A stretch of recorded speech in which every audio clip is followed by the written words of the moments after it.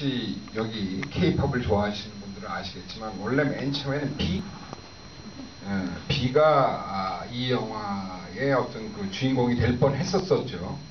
근데 강동원 씨가 나왔던 영화를 보고는 그러니까 만약 비가 했었으면 아마 슬픈 눈이 아니라 지금 뭐 웃기는 눈, 웃- 웃는 눈, 스마일 아이가 됐을 텐데 어, 정말 제가 찾던 이미지.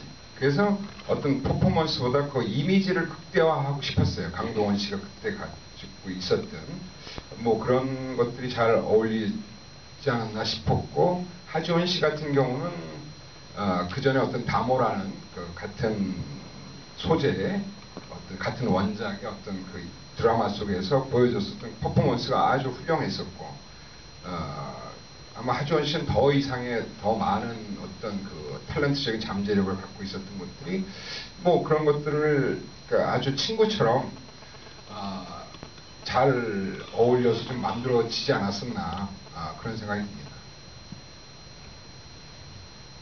So there are many candidates for the role of the actor Kang Dong-won played in the film.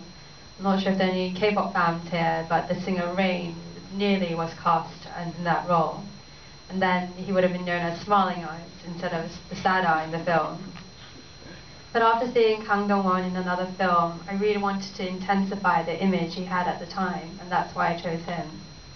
In terms of the actress Ha Ji-won, she appeared in a drama series called Damo, which dealt with the same topic, where she gave an excellent performance. And I knew, I believed and knew of her potential and talent. So, like friends together, I think that was why we could make a good project.